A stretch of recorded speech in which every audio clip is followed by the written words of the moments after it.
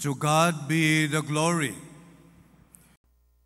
As human beings, whether we like it or not, we are affected by those around us. I don't know if you would agree or disagree with that statement that the behavior, the words, the character of people around us can affect us. Some may inspire us, others may cause us to be depressed, some may encourage us, some may discourage us just by their presence or by their words. Some may lift us up, while others may pull us down. I remember when we were taking our program at Asbury Theological Seminary in 2012, we were busy with our, together with our classmates, in trying to finish our projects. Then one morning, our dean said, You are invited to attend the chapel service because normally we don't attend the chapel service of the seminary because we have our own small chapel. Doon kami nag-worship and doon kami nagpe-pray. But this time, we were given an invitation.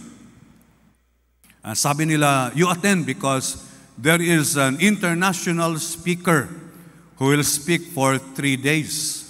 We did not know the name of the speaker, so we went. There were about 10 of us, and we occupied two benches. And when the speaker was introduced, I was surprised because he was my friend. I was not told that he was coming to the school. Dr. Attorney Reverend Jun Vencer. I don't know if some of you heard his name. And he spoke for one hour. And my classmates, as they were listening to him, they were so impressed. And they said, Who is this guy? Where did he come from? I was just silent because I knew Jun for many years. And after he spoke, my classmates went forward. Kinumusta talaga nila si Jun. Sir, ang ganda ng uh, message ninyo. And we were impressed. And while they were shaking his hands, I was just sitting at the back. And uh, Jun said, Ay, Rally, nandiyan ka pala? And my classmate said, You know this guy? I said, Yes, I know him. We have been together for quite a long time. And it's one of those times that I am proud to be an alliance because uh, Jun Vencer is an international speaker and he presented his material so eloquently and efficiently that people were amazed. So there are people around us that makes us proud of ourselves. But there are also people around us that would really pull us down. And their words, their actions can really make us very low in our sight. And so if we are happy, when there are people around us that can lift us up, that can make us happy, then I believe the disciples of the Lord Jesus Christ, when He appeared to them for the first time after He resurrected from the grave, were also very happy. Their souls were lifted up. As, as recorded in John chapter 20, kindly open your Bibles to John 20, verses 19 to 29. John 20, 19 to 29, on the evening of that first day of the week, when the disciples were together, with the doors locked for fear of the Jewish leaders, Jesus came and stood among them and said, Peace be with you. After he said this, he showed them his hands and side. The disciples were overjoyed when they saw the Lord. Again, Jesus said, Peace be with you. As the Father has sent me, I am sending you. And with that, he breathed on them and said, Receive the Holy Spirit. If you forgive anyone's sins, their sins are forgiven. If you do not forgive them, they are not forgiven. Now, Thomas, also known as Didymus, one of the twelve, was not with the disciples when Jesus came. So the other disciples told him, We have seen the Lord. But he said to them, Unless I see the nail marks in his hands, and put my finger where the nails were, and put my hand into his side, I will not believe. A week later, his disciples were in the house again, and Thomas was with them. Though the doors were locked, Jesus came and stood among them and said, Peace be with you. Then he said to Thomas, Put your finger here, see my hands. Reach out your hand and put it into my side. Stop doubting and believe. Thomas said to him, My Lord and my God. Then Jesus told him, Because you have seen me, you have believed. Blessed are those who have not seen and yet have believed. May God bless us upon the reading of His words. At this time, after the crucifixion of the Lord Jesus Christ, the disciples were in hiding. In fact, only John and Mary and some women were there when Jesus was crucified. All the rest ran because they were afraid. Can you imagine? You followed this man for three years. You saw the miracles that he performed.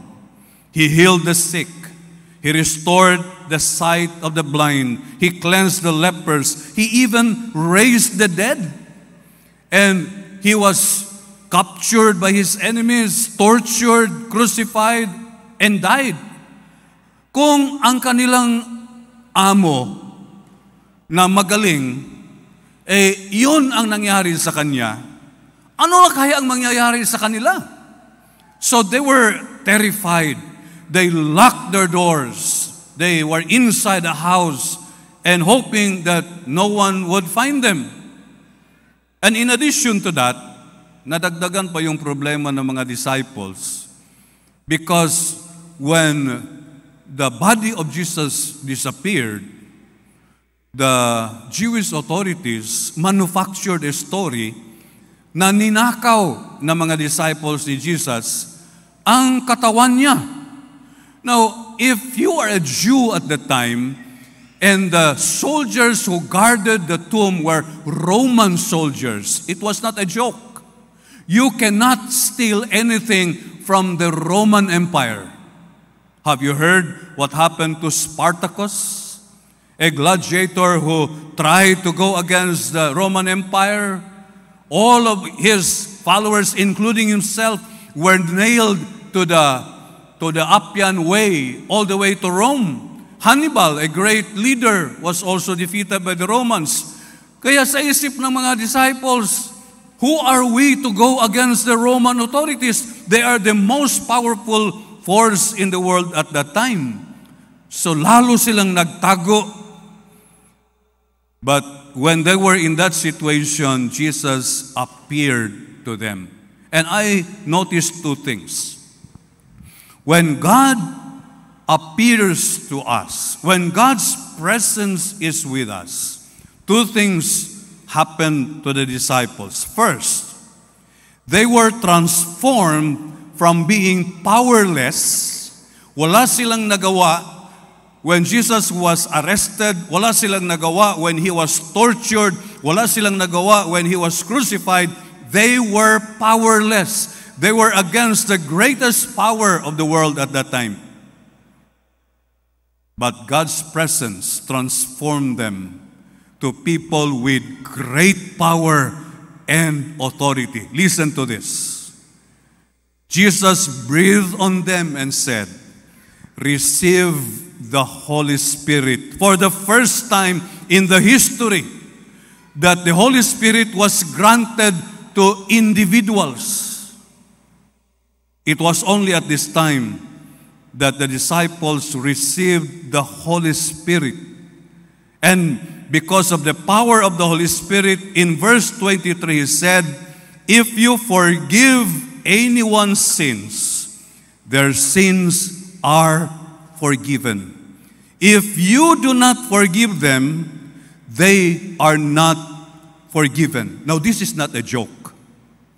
What Jesus said is a great power and authority. Can you imagine if you forgive people of their sins, they are forgiven. If you do not forgive them, they are not forgiven. Only God has that authority, and now He has given this to His followers. But we do not usually hear this among evangelicals. Tayong mga evangelicals, hindi natin masyado kinukot itong John 20, 23. Alam niyo ba kung bakit? May mga narinig ba kayong mga pastor na kinukot ito? Na tayo daw mga anak ng Diyos. We have the authority to say, your sins are forgiven. You know why we don't usually quote this verse? It's because of a historical precedence. In the Middle Ages, from the 1100s to the 1500s, many people in the church abused John 20, 23. Instead of using their power and authority to minister to people, to give a chance to sinners to surrender their lives to Jesus Christ and receive forgiveness, they use this for selfish interests, to make them very rich. Can you imagine if a person cannot enter into the kingdom of God without you declaring that they are forgiven of their sins. They have to pay you. Magbabayad sila sa iyo and you can charge them whatever you would charge them. No wonder at that time the church became very rich but very corrupt. This verse was abused many, many times that's why in the 1500s, people like Martin Luther, John Calvin, Ulrich Zwingli, John Huss of Bohemia, who was burned at stake, stood against the corruption and the abuses of the church. Because they say, you cannot enter the kingdom of God unless you do this. I don't know if you are familiar with Jack Ma. Before the pandemic, he was considered the richest man in China because of Alibaba. Alibaba at that time was bigger than Amazon, bigger than eBay. For 18 years, Alibaba became a multi-billion dollar business. Anong trabaho ng Alibaba? Here is a producer of goods, and here is the consumer. They don't know each other. But through the internet, they can meet in Alibaba. So, ang Alibaba market. And so this producer can sell his products to the consumer through Alibaba. And Alibaba would charge the transaction. If they will charge $1 per transaction or $10 per transaction and there is 1 million transaction in one day. You will be very rich. And if I have the power and authority to declare you innocent or guilty, and you have to pay me and during the Middle Ages, people issued certificates. O ikaw, meron kang kasalanan, ito. Wala ka ng kasalanan. I declare you forgiven of your sins. And thousands of people paid. Not only for themselves, but even for their loved ones who were dead. Kasi tatanungin man, saan yung kapatid mo ngayon? Baka hindi pa siya nakarating sa langit. Pero kung magbabayad ka, madali siya makagraduate. So bayad po rin tao ng mga ignorante. Because they were ignorant and they were told that the Bible said we have the authority to forgive sins. If we do not forgive sins, then they are not forgiven. A kurug-kurug po rin tahon ang mga ignorante. Bayad pod. My question is, is John 20:23 wrong? No. These are the words of Jesus himself, but they were abused. Jesus said, As the Father has sent me, I am sending you, I am giving you the Holy Spirit, I am giving you the authority and the power to be a judge. And if this is true, then our job is very serious. Which means that we have to be in all the world. Kaya pala sinabi ni Jesus Christ, you must go to every place in the world because of this. Dahil kung sa isang lugar wala ka, sino ang magsabi you are guilty and you are innocent, you are forgiven of your sins. I remember reading uh, the history of the United States, yung early days, yung bago lang sila na independent from Great Britain. Akala natin maganda yung buhay sa Amerika. But during that time, they had a lot of trouble because there were places in the United States na walang mayor, walang sheriff, walang judge.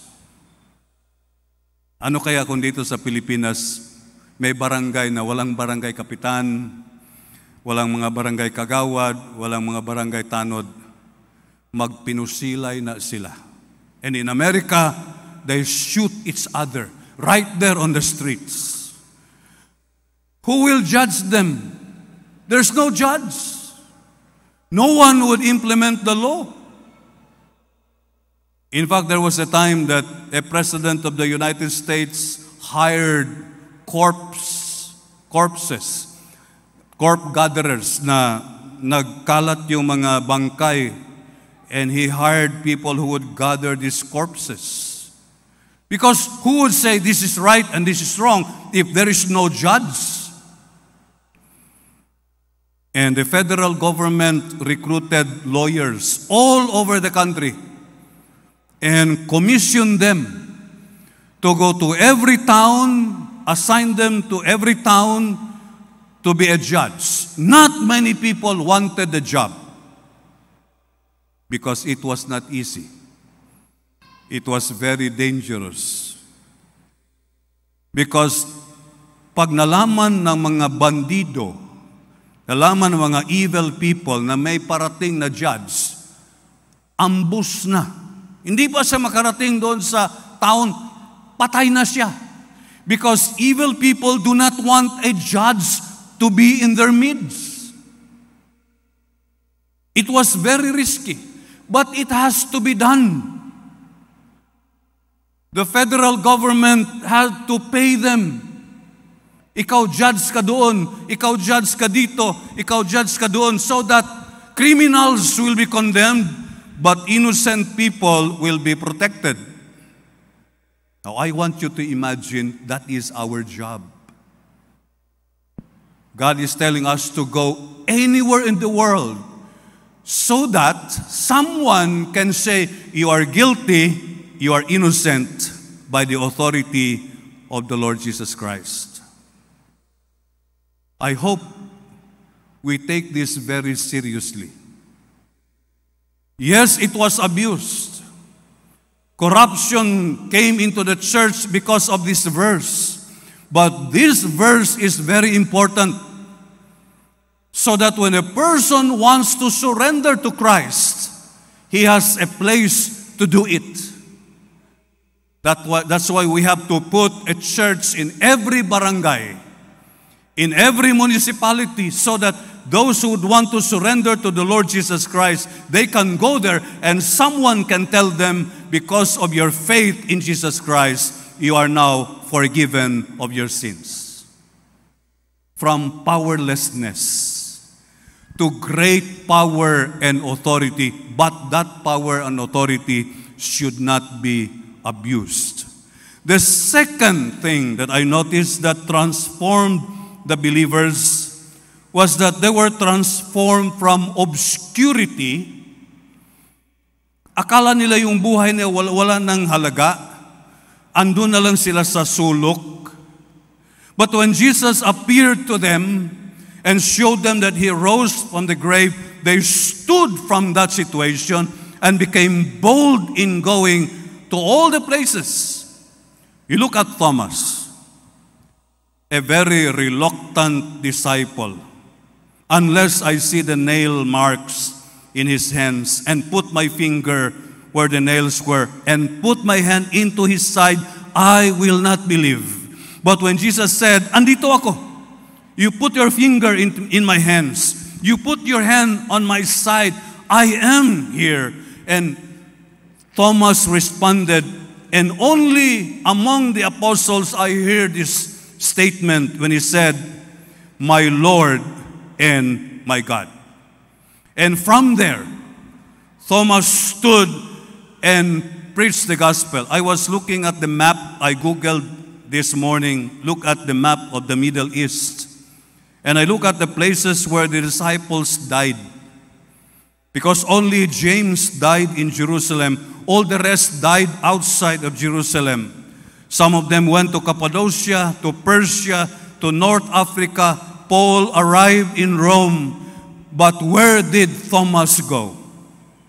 Thomas went the farthest. He went to India and preached the gospel, and he died in 74 AD. And the church that was planted in southern India is still very much alive until today. The Assyrian church would trace their spiritual ancestry to Apostle Thomas. The church in Sri Lanka would trace their spiritual ancestry to Apostle Thomas. The presence of the Lord Jesus Christ transformed them from obscurity to a life that has no purpose to a life that is shining and bold in preaching the gospel. When God called the disciples, they did not know that one day all of them will be martyred, all of them will die. But they were willing to follow God's leading because the responsibility is so great. Whoever you forgive, their sins will be forgiven. Those you do not forgive, their sins will not be forgiven. It's a tremendous responsibility. We don't know where God will lead us, but we must be willing to go because there are those who are waiting to hear the words, Your sins are forgiven by the authority of the Lord Jesus Christ. I was uh, joking with my friends and I said, when I was in college, I enrolled in a course that promised money. Kayo na mga nag-aaral sa college. Di ba nag-aaral kayo dahil pagkatapos, makakapera talaga kayo. But then, halfway or in the middle of my journey, God led me to another course that did not promise money. So I was a little disturbed. I was struggling. But in the end, who can resist God's call? And so I gave in and finished the course. And the first 16 years of my life, I was ministering in the mountains where money was as rare as the unicorn. Kanabang tagsa lang mo magkita? And yet, the joy that I experienced through those years was like no other.